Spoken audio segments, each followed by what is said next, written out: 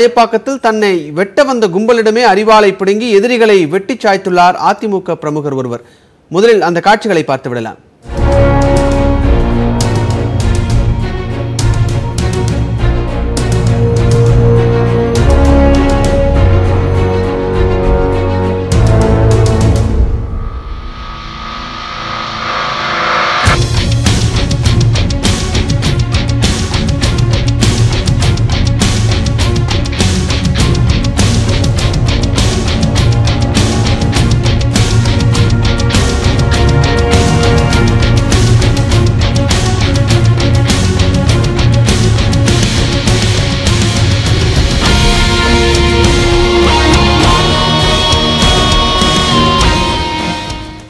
சினிமாவை விஞ்சும் வகையில் நடந்த இந்த தாக்குதலின் சிசிடிவி காட்சிகளை தற்போது நாம் பார்த்தோம். இது குறித்த கூடுதல் விவரங்களை வழங்குவதற்காக நமது செய்தியாளர் கன்னியப்பன் தற்போது நம்முடைய இணைப்பில் இருக்கிறார். கன்னியப்பன் என்ன நடந்தது?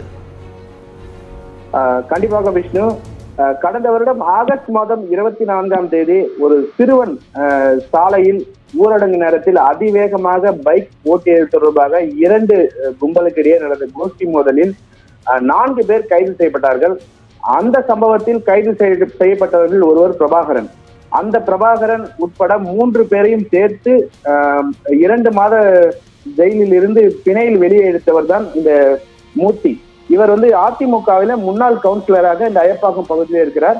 நேற்று மாலை சுமார் ஐந்தே முக்கால் மணிக்கு அவருடைய வீட்டிற்கு அழைப்பதை நிகழ்ச்சிக்கு அழைப்பதை வைப்பதற்காக வந்த மர்ம நபர்கள் அவரை பின்னால் வந்து அவர் வீட்டில் இருந்து வெளியே வரும் பொழுது பின்னால் வந்து பகிரங்கமாக தாக்கும் அந்த ப- பட்ட பகலில் பகிரங்கமாக தாக்கும் இந்த காட்சி அது.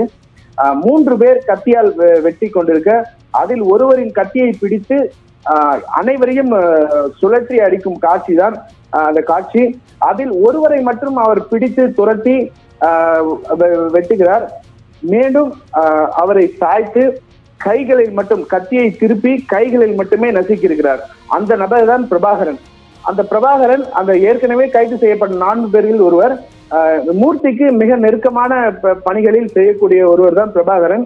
தன்னை தாக்கியவர்களுடன் சேர்த்து அனைவரையும் பெயிலில் எடுத்ததால் கோபம் மூர்த்தி மீது கோபம் கொண்டு புதிய கூட்டாளிகளோடு சேர்த்து நேற்று மாலை இந்த கொடூர சம்பவத்தை ஆள் நடமாட்டம் அதிகமாக உள்ள அந்த ஐயப்பாக்கம் பகுதியில அரங்கேற்றிருக்கிறார் விஷ்ணு.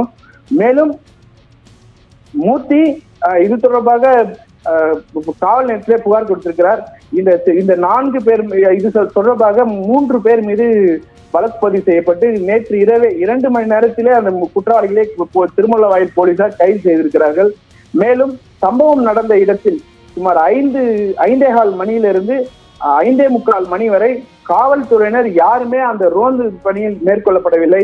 அங்கு உள்ள பேட்ரோலிங் போலீசாரும் அந்த பக்கம் பகுதிக்கு வரவில்லை.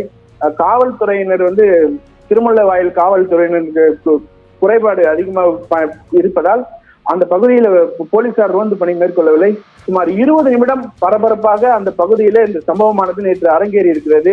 இது தொடர்பாக உயர் அதிகாரிகளை தொடர்பு கொண்டு கேட்டபோது திருமுல்லைவாயில் காவல் நிலையத்திற்கு காவல்துறை ஆளுநர்கள் பற்றாக்குறை இருப்பதாலும் இதனால் அயப்பாக்கம் பகுதிக்கு கூடுதல் போலீஸ் இல்லாததால் இந்த சம்பவம் சுமார் இருபது நிமிடம் நடந்தது. அந்த பகுதி மக்களே பெரும் பரபரப்பை ஏற்படுத்தியிருக்கிற விஷ்ணு நன்றி கனியப்பன் உங்களுடைய தகவல்களுக்கு. தொடர்ந்து செய்திகளை பார்க்கலாம். ஒரு சிறு இடைவேளைக்கு பிறகு.